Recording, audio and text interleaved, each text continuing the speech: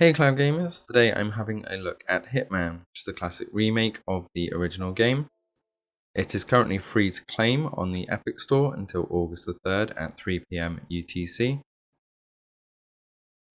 Starting off with the speed test here, I have GeForce Now on the left and Shadow PC on the right. This game is extremely fast loading and it's great to see that GeForce Now is also picking up these fast loading speeds. Within 30 seconds there you can see that the Shadow PC is already through the loading screens and GeForce Now is not far behind here.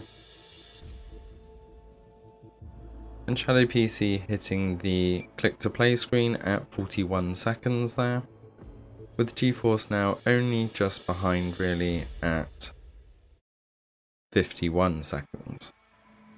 So less than a minute across the board then to get into the game as we move over into the graphics comparison.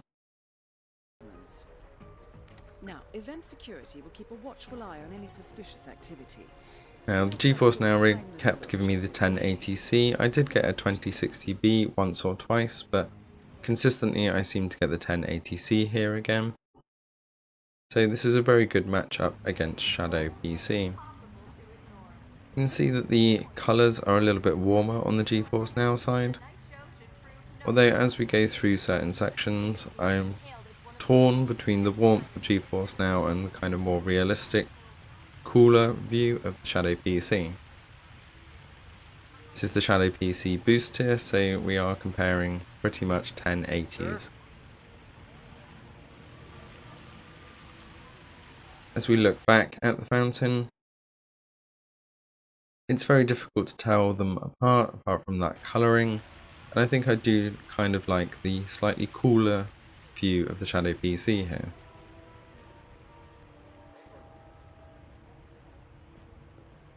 Shadow is still dipping into that 30 frames per second mark here and there. GeForce now does seem to hold a higher frames per second and we see less of that stuttering. That is Viktor Novikov, head of Sanguine and As the target comes down the stairs here, Again, comparing side by side, the only real difference here is the colouring. Quality wise, they are both looking extremely sharp.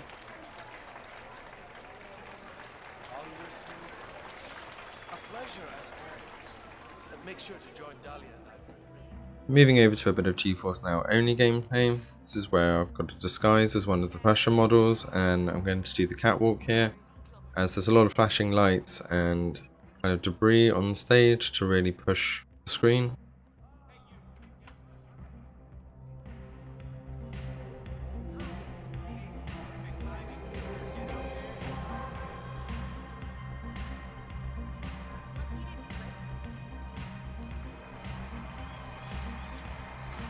You can see here as the crowd kind of lights up with the photography GeForce Now is looking extremely smooth, even with all this debris kind of falling on the catwalk. And the lighting on the model here is absolutely fantastic.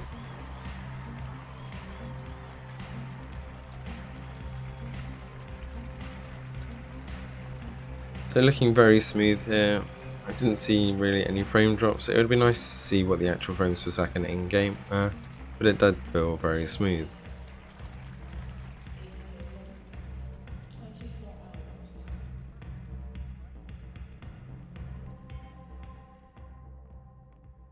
You can see they're moving the camera around and the panning is very smooth on GeForce now and that was my kind of experience overall.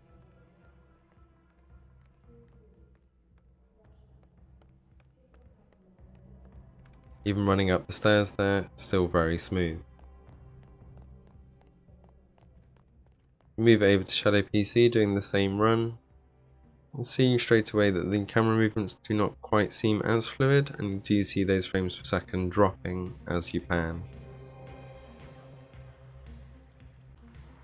As we come onto the catwalk, it does seem to hold that 60 frames per second plus. And again you can see the character models being lit up Although the model here doesn't look as clean for some reason.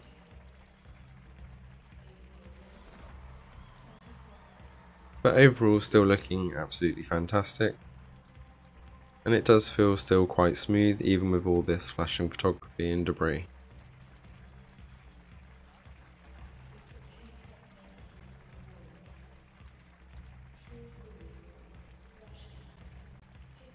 As we move off stage, we do see that kind of darker lighting again.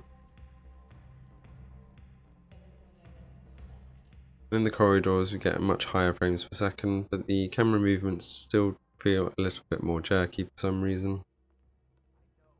See a dip right down into the low 50s there, and even 40s as we run through the corridor here.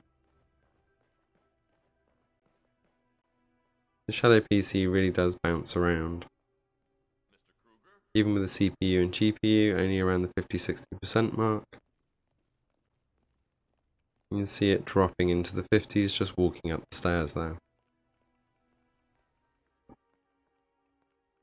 As we go side by side for eliminating the second target then, we can see the difference here on some of the way that the game can end. Hitman is absolutely fantastic, strategic assassination, there are many ways to do the same jobs and obviously the outcome can be very different. You'll see that on GeForce Now, I end up getting chased out of here and the way that the camera kind of finishes the ending is a little bit different, which is very clever. Whereas I managed to be a little bit more stealthy on the Shadow PC side and escape a little bit easier. As a free title, it's definitely worth picking up, especially if you've ever looked at some of the Hitman genre on PlayStation or other consoles.